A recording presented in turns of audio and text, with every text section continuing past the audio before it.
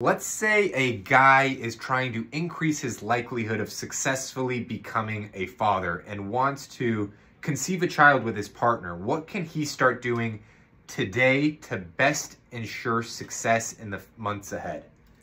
It's a great question. It's a very common question. So I like to keep it as simple as possible. So a few things, and this is not just good for your reproductive health, but good for your overall health. Eat, sleep, and exercise. So when it comes to eating, a well-balanced diet of leafy greens, lean proteins, and complex carbohydrates. That's, you know, from a diet standpoint, that really addresses it. Second thing is in terms of sleeping, try to get at least seven to eight hours of sleep. That's good for hormonal health. We know that sperm need testosterone, intratesticular testosterone in order to, to proliferate and be healthier.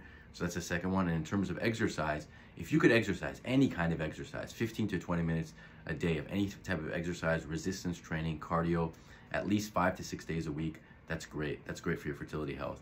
And then the last one, and this is an important one that guys seem to forget, is you want to make sure that your, your testicles, um, you're not putting them in an environment of increased testicular temperatures. So things like saunas, steam rooms, and jacuzzis.